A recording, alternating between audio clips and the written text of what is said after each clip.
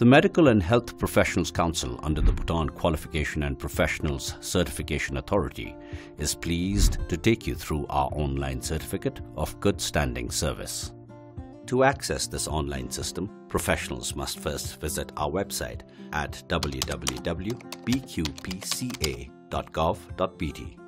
Once on our website, you will find the Medical and Health Professionals Council online system. Click on this link, followed by Health Personal Management System, and then two dashboards will appear. Please note that the right dashboard is for MHPC officials, while the left one is for the registered professionals. To log in, enter your registration number as your user ID and your date of birth as your login password. Please be noted that there have been changes in the alphabetical registration part of your registration number. For further information on this, please visit the notification section of our website or click on the link provided below. Upon logging in, it is crucial to update your personal information, including your recent passport-sized photo, as it will be reflected in your renewal certificate.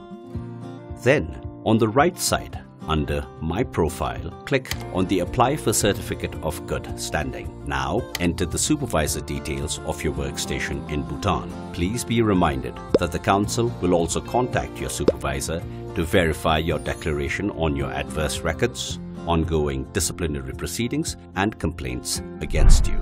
Failure to provide valid, complete, and correct details of the supervisor will result in rejection of your application. Then you have to provide recipient details because certificate of good standing will be issued to the council or to the institute where you are seeking registration or for other relevant purposes. Finally, you have to sign the affidavit. Once you have submitted your application, the council officials will review and endorse it.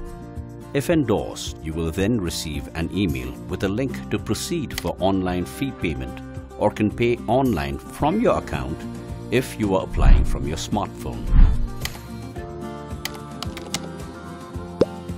After completing your payment, the Council will generate your Certificate of Good Standing and send it to the recipients. Once it is completed, the Council will notify you on completion via email.